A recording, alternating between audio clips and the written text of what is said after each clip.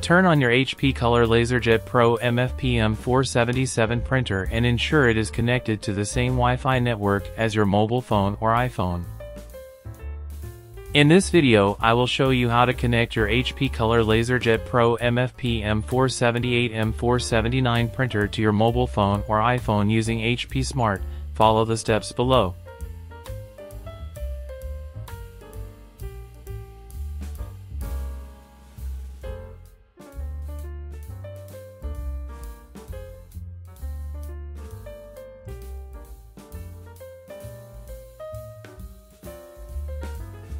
Ensure that your mobile phone or iPhone connected to the wireless network.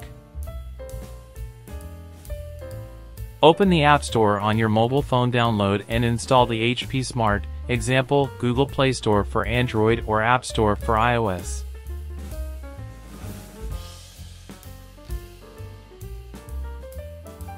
Open the HP Smart app on your mobile device. Follow the on-screen instructions.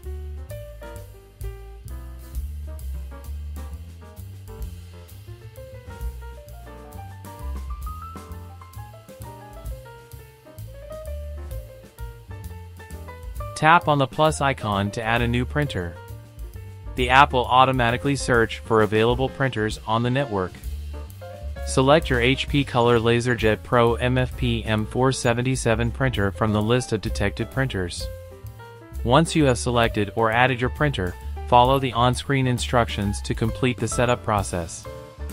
The app may prompt you to enable Bluetooth and location services for better connectivity and printing experience. Don't forget to like, comment, and subscribe to our channel for more helpful tech tips and tutorials.